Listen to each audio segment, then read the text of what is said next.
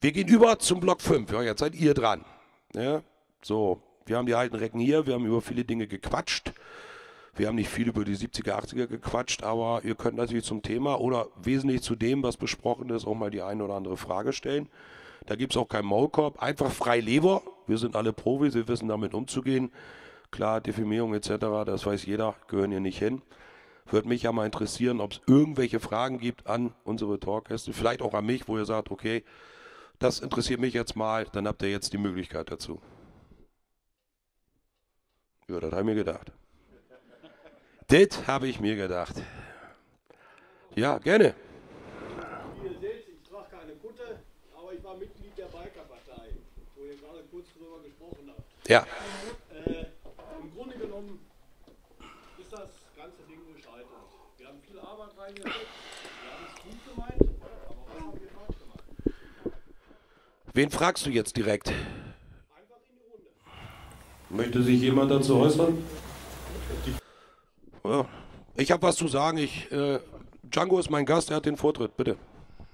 Also ich denke, ich habe das damals mitgekriegt, als diese Partei äh, ins Leben gerufen äh, werden sollte oder ge äh, geworden ist. Äh, mein erster Gedanke war, ich halte es nicht für möglich, dass in der MC- und Bikerszene eine Partei, eine politische Partei gegründet werden kann. Das halte ich einfach nicht mehr möglich. Und zwar aus demselben Grund, wie ich es äh, nicht für möglich halte, dass die gesamte Szene mal geeinigt werden kann. Das würde der Szene in sich widersprechen. Für mich war eine Bikerpartei zu gründen von vornherein ein totes Kind. Jetzt nicht negativ gesprochen, ne? Aber das war mein erster Gedanke. Das wird nie funktionieren. Nie. Schon deshalb nicht, weil wenn du irgendwann mal das Ding ins Leben gerufen hast, dann gibt es mehrere Aspekte, die äh, äh, Riesenprobleme machen würden, wie auch bei anderen Parteien, die sich gegründet haben. Da geht's los. Wer steht vorne? Was vertritt er? Wie wird das Ganze finanziert? Alles. Also wer das macht, viel Spaß. Ich halte das für ausgeschlossen, dass es funktioniert. Ja, ich kann das ergänzen, weil ich nämlich seinerzeit im Zuge der Gründung zu euch Kontakt aufgenommen habe. Ich kann jetzt nicht mehr explizit sagen, wer das gewesen ist, aber es war, glaube ich, der damalige oder vielleicht auch letztere Vorstand, einfach über bikesmusikemore.com Interesse entwickelt. Wir berichten über alle Facetten, klar hat mich das interessiert. Es gab auch einen Dialog auf Facebook und danach gab es gar nichts mehr.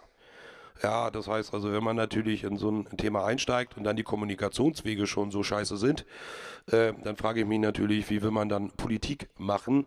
Denn äh, wenn man Politik macht, bildet man Meinung und man muss über Themen, über Inhalte, über Themen, muss man Menschen gewinnen. Und im Wesentlichen gewinnt man die Biker und da muss man auch wissen, dass die Ressentiments halt immer noch da sind. Ne? Die, die Streetfighter motzen über die Harley-Fahrer und umgekehrt. Ich finde das immer ganz witzig, aber das ist nun mal da. Auch da gibt es verschiedene Baustellen. Und letztendlich war es für mich in der Außenwahrnehmung ein reines Internetding. Ja, und äh, ich, ich habe euch nicht wahrgenommen, ich habe die Inhalte nicht wahrgenommen, ganz einfach. Äh, man muss da viel offensiver mit umgehen. Da sind dann wirklich Medienprofis gefragt, weil ist klar, du fängst nur über die Inhalte die Leute. Und ich habe auch irgendwie nicht das Interesse, äh, nicht das Gefühl gehabt, dass ihr wirklich auch in die Clubszene reingeht, weil ohne die geht's nicht. Also diese ganzen Dinger im Fratzenbuch, Demofahrt von X nach Y etc. pp. Und wir machen jetzt auf Coachkurs, das funktioniert nicht. Ja, man kann nicht im Fratzenbuch einen Aufruf starten und 20.000 Motorradfahrer nennen wir sie mal, dackeln hinterher. Das geht nur über Themen, über Inhalten. Und das ist ein ganz schwieriger Prozess. Und da muss ich ganz ehrlich sagen, ich weiß nicht, wie es lange gedauert hat, ein paar Jahre, glaube ich. Äh, okay, ich habe euch nicht wahrgenommen. Ne? Ich habe das Thema abgehakt, weil ich laufe euch nicht hinterher. Wenn ich anfrage, ich kriege eine Antwort und verbleibe, schickt mir mal Material und das kommt nicht, dann sage ich, naja, wenn sie das in fünf von zehn Fällen machen, dann wundert mich eigentlich, dass es drei Jahre gedauert hat. Das kann ich aus meiner Position, aus eigenen Erfahrungen sagen. Noch jemand eine Frage? Bitte. Ja, ich vielleicht auch kurz zur Bikerpartei. Ich war der Pressesprecher in NRW. Das fing schon direkt auf der ersten Veranstaltung an, gab es Differenzen. Jeder wollte dort das große Sagen haben. Alleine da fing es schon an. War einer von Ex-Gremium, der hat immer nur von anderen gesprochen, also war da schon mal irgendwo eine gewisse Diskrepanz gegeben. Und es war dann einfach nur ein Kuddelmuddel, dann gab es Machtkämpfe. Der eine, wohl nur neun oder 14 Leute da waren, aber gab es bei den 14 Leuten schon Machtkämpfen. So war das ähnlich auch in der Partei Pro DM, die sich ja für den Erhalt der D-Mark einsetzte. War ich stellvertretender Ich muss da mal einhaken, entschuldige. Es ist eine Fragerunde, die konzipiert ist, dass Fragen an die Talkgäste gestellt werden. Wir haben nachher im Open Talk genug Möglichkeiten, uns darüber zu unterhalten, aber ich finde jetzt eine Stellungnahme zu den Gründen, warum es gescheitert ist. Das Thema ist alte Recken. Hier sitzen alte Recken, wir haben gewisse Dinge besprochen. Ich würde auch mit einer Frage beginnen. Ja, das wollte ich ja auch im Anschluss an diese ja. Ausführungen. Glaubt ihr, dass es irgendeine Möglichkeit gibt, dass sich auch verfeindete oder sich nicht unbedingt liebende Clubs, dass die sich in der Politik zumindest, wie, die, wie es bei der Odesa heißt, in den Farben getrennt, in der Sache vereint, ob es sowas auch mal in der Biker-Szene geben könnte? Hat jemand eine Antwort?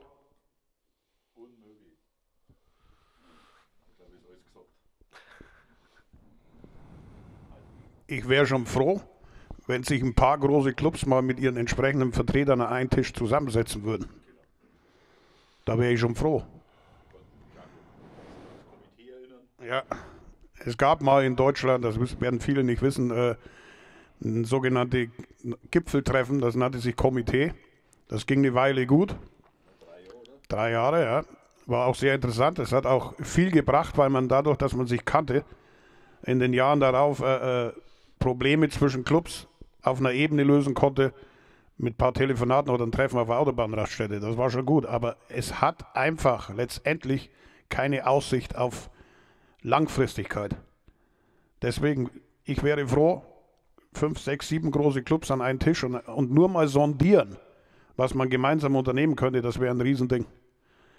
Sehe ich nicht. Hm, da gibt es sicherlich einige Aspekte, die dafür sprechen. Da würde ich aber Bezug drauf nehmen, wo sind die kleinen und mittleren Clubs, weil die sprichst du dann damit nicht an weil dann wieder gesagt wird, die Großen machen ihr Ding. Also eine Kuschelrunde von 1%ern. Kleiner Club wird sich da eher nicht angesprochen fühlen. Im Gegenteil, er wird sich eher ausgegrenzt fühlen. Gebe ich dir recht, aber äh, man darf das Kind nicht mit dem Bad ausschütten. Wenn diese Runde möglich wäre und, und man käme zu einem gemeinsamen Startpunkt, dann könnte man überlegen, wie holen wir die anderen ran. Aber wenn du äh, gleich anfängst, kleine, mittlere Clubs an einen Tisch, dann brauchst du eine Halle mit 150 Leuten, dann kommen drei oder vier Hundertschaften, Hubschrauber und Wasserwerfer und das war's dann. So ist das heutzutage. Das kriegst du nicht gewuppt, hundertprozentig nicht. Na, wir können inzwischen nicht mal mehr eine Party feiern, ohne dass, äh, äh, äh, äh jetzt ist ja blau-silber, äh, ringsum zur Wagenburg auffährt. Ne? Das, das ist halt so. Deswegen, die Politik der kleinen Schritte, ich nenne es jetzt mal Politik, wäre angesagt, um überhaupt mal starten zu können. Da braucht sich dann auch niemand ausgegrenzt fühlen. Es ist schon klar, wenn du sechs, sieben Club nimmst, dann wird es wahrscheinlich drei geben, die sagen, warum die, warum wir nicht. Da geht schon los. Das ist die Problematik. Und wenn du da nicht die richtigen Leute zusammenkriegst, dann äh, krepiert das Ding am ersten Tag. Mhm. So ist ich sehe immer noch keine Hände. Warum überrascht mich das nicht? Komm Leute. Ja bitte, da, da hinten zum Beispiel. Fangen wir mit dir vorne an.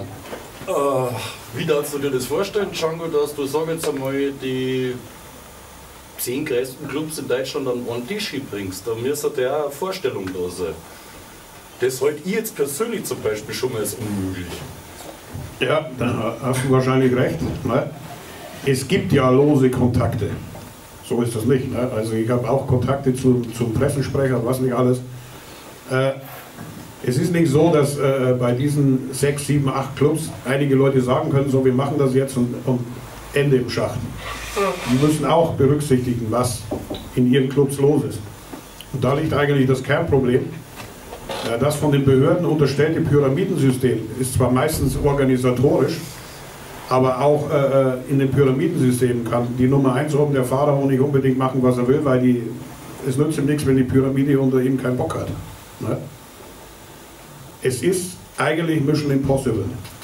Aber ich persönlich, ich würde es sehr gut finden, wenn man das mal hinkriegen würde. Und wäre es nur für einen Nachmittag, um einfach mal zu sondieren. Ich kann mir vorstellen, dass die Poli äh, politischen und polizeilichen Beobachter durchdrehen würden, wenn das passieren würde. Nächste Frage, bitte, Gian, Gianino.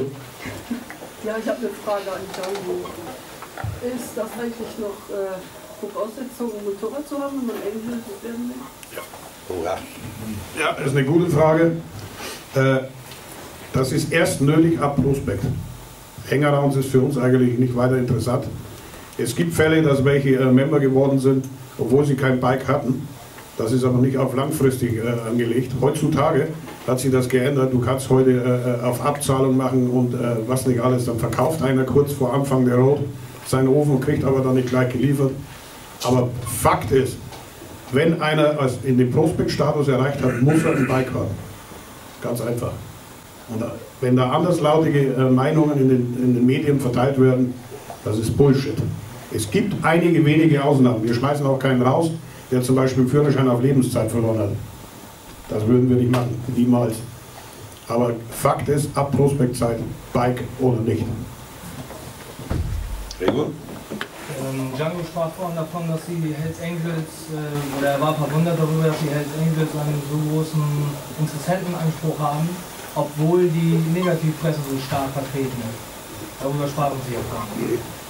Nun habe ich mir die Frage gestellt, ob die anderen drei äh, vertretenen Clubs das auch so fühlen, dass sie eben halt ein größeres Zulaufinteresse äh, haben und wie man mit äh, genau diesem mehr Zulauf als wann auch immer vorher, wie man damit umgeht, da die richtigen Leute auszusortieren, weil die Zeit, die man hat, wird ja weniger, je mehr Leute kommen. Und da die richtigen Leute zu finden. Gute Frage. Gute Frage. Also es ist so, äh, äh ich weiß von anderen Clubs, dass sie ähnliche Reaktionen haben. Es kommen sehr viele, sehr viele. Aber du kannst davon ausgehen, 90 äh, Prozent kommen über die Anfrage gar nicht raus. Das ist so. Da sind viele Fantasten dabei, viele Spinner und, und man darf auch eins nicht vergessen, das ist ein sehr wichtiger Punkt, was das betrifft. Seit mittlerweile fünf Jahren wird die gesamte Bevölkerung geimpft über die Medien, über Politik und was nicht alles. Hells Angels, Bandidos, Outlaws, Gremium und es sonst noch Freeway Riders, verdienen Millionen mit irgendwelchen Geschäften. Da muss man sich nicht wundern, wenn dann Jungs aus dem Ghetto sagen, hey Macker, das will ich auch. Die glauben das nicht nur, die wollen das auch. Und aus diesem Problemkreis kommen natürlich viele Leute, die einen guten Eindruck machen. Zunächst mal, du kriegst dann aber relativ schnell mit. Die fragen dann schon, welchen Puff kann ich übernehmen, wenn ich äh, das Patch anhabe. Das ist Tatsache, das ist keine Spinnerei, das passiert gar nicht mal selten. Fakt ist, man muss sich Zeit nehmen, genauer hinzugucken. Und wenn natürlich jede Menge Leute kommen, kriegt man auch eine gewisse Routine. Das denke ich, kann jeder hier bestätigen. Äh, wenn du mal 10, 15 Jahre das gemacht hast, dann kann dir ein, ein Hängerrad oder ein Prospekt nicht unbedingt mehr in X-Form, U-Form machen. Aber es ist ein, eine gute Frage, es ist ein Problem. Weil die kommen mit Vorstellungen an, die kannte ich damals gar nicht. Ich glaube, die Frage war aber an alle vier gerichtet. Was habt ihr da auch irgendwie die Erfahrung, Mensch, wenn die Kacke richtig am Dampfen ist, kommt mal mehr zu? Also bei, bei uns ist das im Moment nicht. Ob jetzt die Kacke am Dampfen ist oder nicht, aber wir nehmen in der Regel sowieso, kein Chapter von uns nimmt in der Regel mehr wie zwei oder drei Prospects auf einmal. Da ist die Zeit immer die gleiche. Da gibt es keine Zeiten geschenkt. Sonst muss da alles verdienen. Wie auch bei allen anderen Vereinen. Weil alles, was geschenkt ist, ist nichts wert. Aber? Na, also, ich weiß nicht, ob das an der Zeit liegt, weil es gerade qualmt oder so. Ich sage einfach mal, wir sind ein geiler Club und die Leute haben Interesse, die wir jetzt haben als Junge, sind geil. Der Rest wird sich zeigen. Der, der Einstieg, die, die Zeit bleibt immer das gleiche, egal wer es ist. Kriegt auch keiner bei uns was geschenkt, egal ob er ein breites Kreuz hat oder ein dickes Portemonnaie oder so. Das sind alles Werte, die für uns egal sind. Mhm. Danke. Robert? Ja, bei uns ist ähnlich. Also der Zulauf ist da schon da. Ich würde sogar sagen, natürlich auch verstärkt seit 12. Aber wir lassen uns da nicht aus der Ruhe bringen. Also viele können wir schauen das ein paar Mal an, sind vielleicht pressenaiv durch gewisse Aussagen und Eindrücke und sind oft auch mal wieder schneller weg. Also das Problem erledigt sich von alleine. So ist ja. Weitere, bitte? Schön. Also wenn, wenn, wenn wir hier zusammensitzen und darüber sprechen, alte Werte, alte Recken, wie wollen wir das alles aufrechterhalten? Wie geht es weiter? Wie, wie, wie äh, bildet sich die Szene weiter aus? Stelle ich mir auch noch eine explizite Frage, beziehungsweise wenn wir davon sprechen, Presse, äh, ähm, Polizei äh, etc. Ähm, was ist das Problem oder ist das Problem überhaupt noch diskutabel, was die Migranten betrifft? Weil du hast mal einen Blog geschrieben in deinem äh, in deinem Bikes Music More über Migranten, fand ich sehr interessant und äh, die Frage ist, wie, wie stellt sich das überhaupt gegenüber? Weil die Werte, die wir leben als Biker, lebt 95% einer, einer Migrantenfraktion nicht. Die haben ganz andere Interessen, die uns ja auch gefährlich wird, weil sie auch in der Presse sind, weil sie auch in der Öffentlichkeit sind, weil sie auch mit, mit, mit Kutte rumrennen. Äh, das annehmen, was wir eigentlich leben, bloß ohne Bike. Äh, sprich Türsteher-Szene äh, oder Bodybuilder-Szene oder wie auch immer. Wie seht ihr das? Ne, das geht ja eher in die Runde. Ne? Komplett, Aber natürlich. Ich darf deine Frage so interpretieren, korrigiere mich, wenn ich da falsch liege.